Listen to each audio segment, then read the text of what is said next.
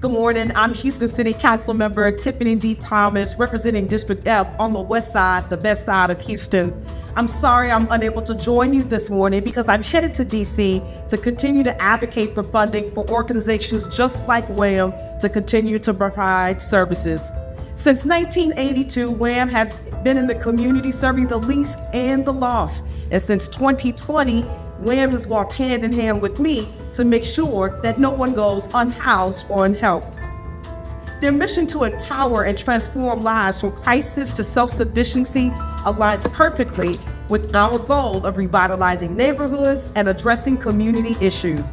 As the inaugural recipient of the WHAM Impact Award, I would like to extend my hearty congratulations to Dr. Arima Adil from the Houston Community College Douglas Foshee from Good Reason Houston, Dr. Melanie Johnson from Collaborative for Children, and Nadia Villani from the Houston Community Foundation.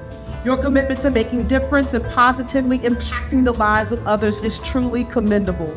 I also would like to acknowledge the outstanding leadership of the board and the executive team, Board President Stephen Williamson and CEO Mark Brown.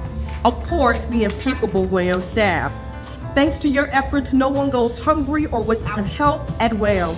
Clients receive the necessary assistance to prevent eviction and homelessness. As we continue to serve the unhoused community, I'm committed to working alongside nonprofit organizations like WHAM to address this challenge. Together, let's ensure to keep the West Side the best side.